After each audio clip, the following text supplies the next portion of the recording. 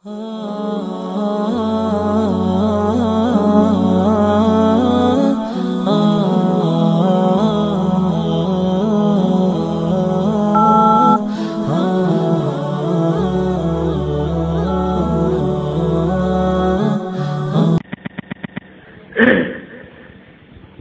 غیر مقلد کبھی پوری نماز پر بحث کرنے کے لیے آج تک تیار نہیں ہوا۔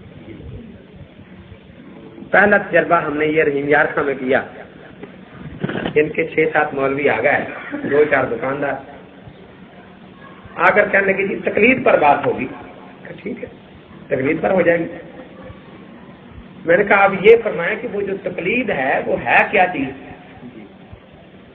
کہنے لگا جی کسی امتی کی بات کو بلا مطالبہ دلیل مان لینا۔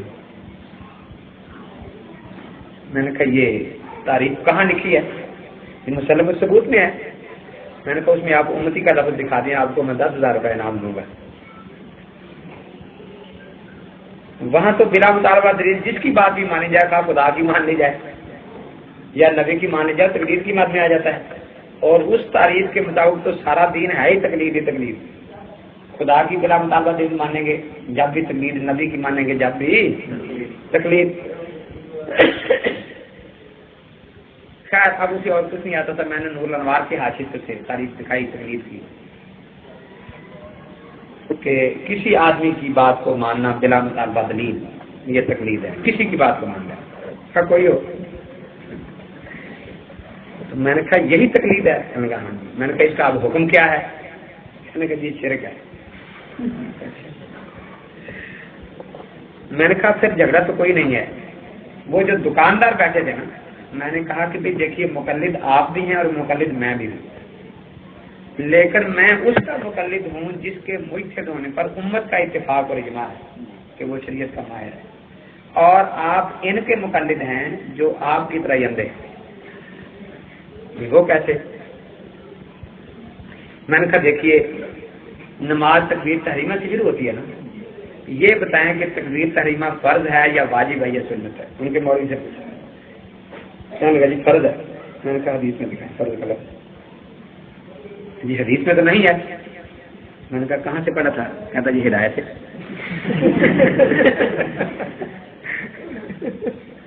اب دوسرا مولوی مان گیا۔ کام تو پہلے مسئلے پر ہی خراب ہو گیا نے کہا نہیں جی نہ فرض ہے، نہ واجب ہے، نہ سنت ہے، نہ نفل ہے۔ میں نے کہا یہی حدیث میں دکھا دیں کہ یہ نہ فرض ہے، نہ واجب ہے، نہ سنت ہے، نہ کچھ بھی نہیں۔ میں نے قیامت میں حدیث پاک میں آتا بخاری شریف میں کہ حساب فرائض اور نوافل کا ہوگا۔ فرائض میں کمی ہوگی، نوافل سے پوری کی جائے گی۔ تو تقبیر تحریمہ کہاں گنی جائے گی؟ یہ تو نہ فرض ہے، نہ واجب ہے، نہ نبل ہے، نہ سنت ہے۔ اس کا تو حساب کتاب ہی نہیں ہے کہیں دنیا میں۔ یہ کہاں گنی جائے گی؟ کیا لگے جی یہ حدیث ہمیں نہیں آتی۔ میں نے کہا یہ تو اس کا حکم تھا۔ اب آپ کا امام اللہ اکبر بلند آواز سے کہتا ہے اور مفتی آہستہ آواز سے کہتا ہے۔ جی، ٹھیک ہے۔ مطلب صرف ایک حدیث دنیا کی کسی کتاب سے نکال دیں کہ امام کے لیے تقبیر تحریمہ بلند آواز سے، سنت ہے مقدی کے لیے آہستہ آواز سے۔ اب یہ گالی تو نہیں ہے نا؟ ان کا روز کا عمل ہے۔ لیکن یہ حدیث میں نہیں آتا، جیسے مچھر کا لفظ میں نہیں آتا۔ اب یہ کہاں سے لیتے ہیں سکھاتے تو کہنے لگا جی یہ حدیث تو نہیں آتی۔ چلو ٹھیک ہے۔ میں نے کہا، آپ تعوض آہستہ کرتے ہیں یا بلند آواز سے؟ کہنے لگا جی آہستہ کرتے ہیں۔ میں نے کہا جی کوئی حدیث فریق اس کی کوئی مربوع حدیث نہیں ہے۔ کہنے لگا جی یہ حدیث تو نہیں آتی۔ اچھا۔ میں نے کہا آپ آپ جب اکیلے نماز پڑھتے ہیں تو آمین بلند آواز سے کہتے ہیں آہستہ۔ کہنے لگے جی آہستہ کہتے ہیں۔ میں نے کہا یہ حدیث دکھا دیں کہ اکیلے آدمی کے لیے آمین آہستہ کہنا سننا ہے۔ یہ ایسی حدیثوں کو نہیں آتی۔ میں نے کہا آپ کے مقدی چھ رفتوں میں آمین اونچی کہتے ہیں، گیارہ میں آہستہ کہتے ہیں۔ یہ مقدی کے لیے سری حدیث اور چھ گیارہ کا فرق کسی حدیث میں دکھا دیں مجھے کہ چھ میں بلند آواز سے سنت ہے، گیارہ میں آہستہ آواز سے سنت ہے۔ جی، ایسی کوئی حدیث نہیں آتی۔ میں نے کہا آپ رکوع کی تصویرات بلند آواز سے پڑھتے ہیں یا آہستہ؟ کہنے لگے جی ہماری مرضی جس طرح پڑھ لیں۔ میں نے کہا نہیں، مرضی کی بات نہیں ہے۔ کہنے لگے جی اب میں کیا بتاؤں؟ اگر میں کہوں گا کہ آہستہ آواز سے پڑھتا ہوں، آپ کہیں گے حدیث سناؤ۔ اگر میں کہوں گا بلند آواز سے پڑھتی ہیں آپ کہیں گے حدیث سناؤ۔ تو میں نے کہا، پھر حدیث ہی مانگو، گالی تو نہیں دوں گا نا۔ ہاں جی حدیث نہیں آتی۔ تو میں نے کہا، اب سے پہلے آپ کے دو دلائل تھے، قرآن اور حدیث۔ اب یہ تیسری دل بھی آ گئی میری مرضی۔ تو لوگوں کو آپ دو دلیں بتاتے ہیں اور آج یہ اپنی مرضی چل رہی ہے، نہ قرآن آ رہا ہے، نہ حدیث آ رہی ہے، کیوں آپ لوگوں کو دھوکہ دیتے ہیں؟ بہرحال میں نے آٹھ دس سوالات پوچھے۔ وہ سوالات میں نے لکھے ہوئے کاغذ پر آپ کو رسید کروانے ان کو۔ اور یہ آسان طریقہ ہے، نہ گالی دینے کی ضرورت، نہ کچھ۔ جی ہم حدیث پڑھتے ہیں، حدیث پر عمل کرتے ہیں، حدیث بیان کرتے ہیں۔ ہاں جی ذرا یہ حدیث سنا دیں، یہ سنا دیں، یہ سنا دیں۔ اور اگر وہ حدیث تو سنا نہیں سکتے نہ میں نے وہ مثال لکھی جو حدیث میں نہیں آتے۔ اب اگر نہ سنا سکے تو پھر ہم ان کو گالی صرف اتنا کہیں گے کہ انگریز سے آپ نے نام آیا حدیث راگ کرایا تھا یہ اس کو واپس بھیج دیں۔ اس کو بیچارے کو کیا پتا ان کو حدیث آتی ہے یا نہیں آتی؟ ہے وہ فقیر واری خط لکھ دیں گے جوابی۔ کیوں نہیں بھیجتے؟ نہ وہ اس وقت کہیں آپ نے لکھا ہوگا اچھا جو ختم ہو گئے تھے کچھ ایسا۔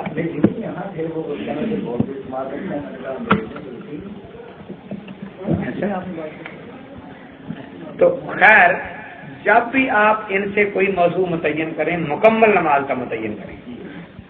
کیونکہ مکمل نماز پر جب یہ مسائل آئیں گے نا اور سب کو پتہ چلے گا کہ اس مسئلے کی حدیث ان کو نہیں ملی جس طرح کوئی کہے کہ میں صرف قرآن کو مانتا ہوں، حدیث کو نہیں مانتا، تو اس سے لڑنے کی ضرورت نہیں کہا کہ اچھا جی ہم مسئلے پوچھتے ہیں، آپ قرآن سے دکھاتے ہیں۔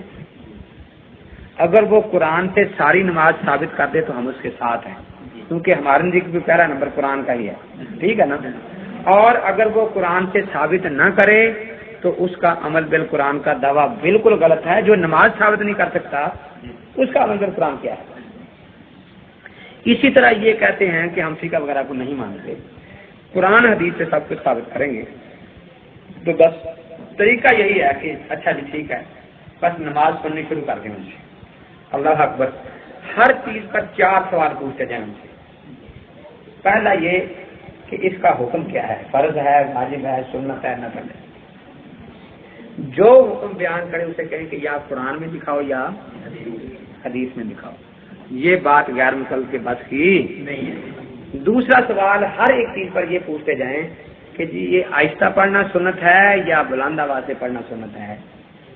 اگر وہ کہے آہستہ پڑھنا سنت ہے کہیں کہ جی حدیث دکھا دو۔ اگر وہ کہے بلند آواز سے پڑھنا سنت ہے تو آپ کہیں حدیث دکھا دو۔ تیسرا کہ اگر کوئی شخص بھول کر سنا کی جگہ آتا ہے یاد پڑھ لے۔ بھول جاتا ہے نا آدمی۔ تو اس کی نماز ہو جائے گی یا نہیں ہوگی؟ اگر وہ کہے ہو جائے گی تو بھی حدیث میں صاف دکھاؤ کہ سنا کی جگہ آتا یاد پڑھنے والے کی نماز ہو جائے گی۔ اگر وہ کہتا ہے نہیں ہوگی تو جی حدیث میں دکھاؤ کہ سنا کی جگہ آتا یاد پڑھنے والے کی نماز نہیں ہوگی۔ اور چوتھا یہ کہ اگر بھول کر کوئی رہ جائے کسی سے، تو سجدہ صاحب سے گزارا ہو جائے گا یا نہیں؟ اگر وہ کہے کہ سنا چھوڑنے سے سجدہ صاحب کر لو تو گزارا ہو جائے گا، تو کہو جی حدیث میں دکھا دو۔ اگر وہ کہتا ہے کہ سجدہ صاحب سے گزارا نہیں ہوگا، تو کہو جی حدیث میں دکھا دو۔ یہی چار سوال سنا پر، یہی چار فاشیا پر، یہی سورت پر، یہی آمین پر، یہی رقو سجدے کی تصویر پر۔ دیکھیے، اتنا آسان طریقہ مناظرے کا ہے غیر مقلدین کے ساتھ۔ نہ کسی کتاب کی ضرورت، نہ کچھ۔ انہوں نے ثابت کرنی اپنی نماز۔ لیکن کام صرف یہ نہ سمجھے کہ نسخہ سستا دے دیا ہے، آپ کو اس لیے اس کو بے قدر سمجھے۔ یہ نسخہ اتنا قیمتی ہے کہ آپ یہ استعمال کر کے دیکھیں ان شاء اللہ عزیز وہی غیر مقلد جو دن میں پانچ مرتبہ آپ کے پاس آیا کرتا تھا نا۔ جب آپ کسی گلی میں قدم رکھیں گے اور آپ کو دیکھے گا تو اسی طرح بھاگے گا جیسے حضرت عمر کو دیکھ کر غیر مقلد بھاگ جائے گا۔ بالکل آپ یقین کریں۔ تو یہ اتنا سادہ اور سستا نسخہ ہے۔ تو خلاصہ یہ ہے وقت ہو رہا ہے کہ وہ کہتے ہیں ہنفیوں کی ہوتی نہیں۔ کیوں بلا کہتے ہیں؟ ابھی بول گیا آپ تو۔ اس شیطان کی کارنامہ پورا کرنا نا حدیث کا۔ وہ جو وجہ سے ڈالنے والا ہے کہ نہیں ہوتی نہیں ہوتی۔ ہاں نہیں ہوتی۔ نہیں بس سے ڈالنا سے ڈالنا تو ہمیں یہ کہتے ہیں کہ رات دن کہتے ہیں ہنسیوں کی نماز ہوتی نہیں۔ اب ہم کہتے ہیں کہ اچھا آپ سنا دیں اور سکھا دیں ساری۔ تو کہتے ہیں ہمیں آتی نہیں۔ یہ ہے سارا جھگڑا آج میرے ساتھ ان کا۔ یہ کہتے ہیں ہنسیوں کی ہوتی نہیں۔ ہم کہتے ہیں اچھا کوئی گالی نہیں دیتے، آپ کو آپ ذرا سنا دیں ساری نماز۔ اور ہمیں سکھا دیں۔ اور ہر بات پر چار چار باتیں تو ایک کہنے لگا جی ہم تو پہلے وضو نہیں شروع کریں گے نا، ٹھیک؟ شروع کریں۔ گے وضو کی سنتیں کتنی ہیں؟ یہ تو مجھے نہیں آتی۔ اچھا تو میں نے کہا یہ کہتا ہے جی، یہ فکا کی صلاح میں نہیں مانتا۔ ٹھیک ہے، میں بھی آپ کو محدثین کی صلاح نہیں ماننے دوں گا، لیکن مناظرہ ختم نہیں ہوگا۔ میں نے کہا اچھا پہلے آپ نے تین مرتبہ ہاتھ دھوئے۔ کہا ہاں۔ میں نے کہا، اگر کوئی نہ دھوئے، وضو ہو جائے گا یا نہیں؟ اب وہ سوچنے لگا۔ میں نے کہا، اگر ہو جائے گا تو حدیث سنا دو۔ اگر نہیں ہوگا تو کلی تین مرتبہ کی۔ اگر کسی نے نہیں کی، بھول گیا کلی۔ وضو ہو جائے گا یا نہیں؟ اگر وہ کہتا ہے ہو جائے گا تو حدیث سنا کہتا نہیں ہوگا تو تو پھر ٹھیک ہے، آپ وضو پر بات کر لیں۔ وہ کہتا ہے یہ کوئی باتیں ہیں کرنے کی؟ میں نے کہا اور کون سی باتیں پتی ہیں کرنے کی؟ جن کو دین کا ایک مسئلہ نہیں آتا بیچاروں کو، وہ غلطیاں نکالتے ہیں سیدنا امام اعظم ابو علیفہ رحمۃ اللہ علیہ۔ وہ اعتراضات کرتے ہیں، صاحب ہدایات وہ کہتے ہیں کہ ایک گاؤں میں ایک پڑھ کر آ گیا، نیا نیا بیچارہ۔ تو اب پرانے بزرگ موجود تھے علاقے میں، لوگ ان سے مسئلے پوچھتے، یہ بڑا پریشان۔ کہ بھائی، مجھے کوئی مولوی نہیں سمجھتا۔ اس نے پہلے تو مسجدوں میں اعلان شروع کیا بھی میں بھی پڑھ کر آیا ہوں، مجھ سے مسئلہ پوچھ لیا کرو۔ تو لوگوں نے سوچا کہ چلو بھی تیری باری آئے گی پوچھیں ابھی تو بڑے بزرگ بیٹھے ہیں۔ پھر اس نے شروع کیا کہ مکان پر چکر کرتے ہیں۔ سب میں پارگو تحصیل ہوں کہ مسئلہ پوچھنا ہو تو پوچھ لیں۔ صاحب نے کہ بھائی ضرورت ہوگی تو مفتی صاحب بیٹھے ان سے پوچھ لیں گے۔ کہا کہ بڑی نا انصافی ہے میرے ساتھ۔ اب اس نے سوچا کہ یہ مولوی اور یہ لوگ اس طرح تو قابو نہیں آئیں گے۔ وہ صبح جناب مدرسے کے سامنے کھڑا ہو گیا۔ بچے قرآن پڑھ رہے تھے، جب وہ چھٹی ہوئی، وہ بھاگتے ہوئے نکلے نا۔ تو ایک بچے کو پکڑا۔ کیا پڑھتے؟ اس نے کہا جی دوسرا پارا پڑھتے ہیں کلمہ آتا ہے؟ کہا ہاں جی آتا سناؤ۔ نے کہا، لا الہ الا اللہ محمد رسول اللہ. غلط ہے. صحیح کیا ہے؟ صحیح ہے، لا الہ الا اللہ ہوا محمد رسول اللہ.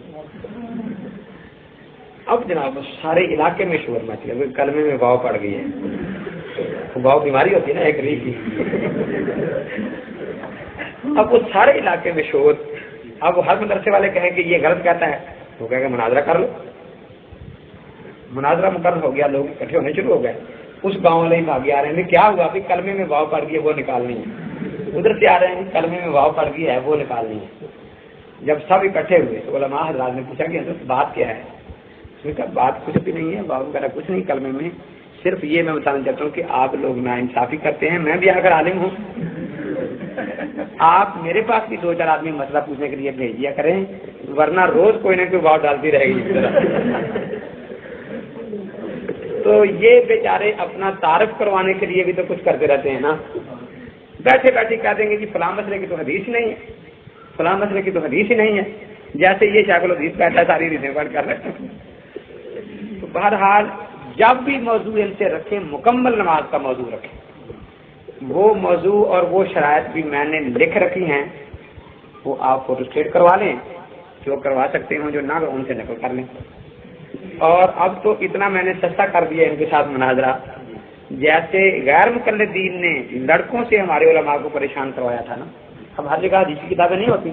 لڑکا جا کے بیٹھتا ہے جی یہ حدیث دکھا دو جی یہ حدیث دکھا دو جی۔ الحمدللہ میں نے ایسے سوالات اب مرتب کر دیے ہیں کہ آپ لڑکے کو بھیجیں گے ان کے مناظر اعظم اور شیخ الحدیث کے پاس کہ حضرت یہ حدیث سنا دیں تو وہ کہے گا کہ جی یہ حدیث نہیں آتی۔ ادھر ادھر کی باتیں کرے گا۔ اب بھی اگر آپ اس سے فائدہ نہ اٹھائیں، تو پھر یہ آپ کی مرضی ہے۔ بہرحال، Islamic voice, digital sound studio Pakistan میں اسلامک ریکارڈنگ کے لیے منفرد ادارہ۔ تلاوت، حمد و نعت، نظمیں اور تقاریر۔ ڈیجیٹل اسٹوڈیو میں اور دینی اجتماعات کی اسٹوڈیو کوالٹی میں ریکارڈنگ اور آڈیو کیسٹ کو سی ڈی میں کنورٹ کروانے کے لیے معیاری ادارہ اسلامک وائس رابطہ کے لیے پوسٹ باکس نمبر پندرہ سو تین نشات آباد فیصل آباد. فون نمبر صفر تین سو تینتیس، چھ پانچ، دو پانچ، تین سات، صفر.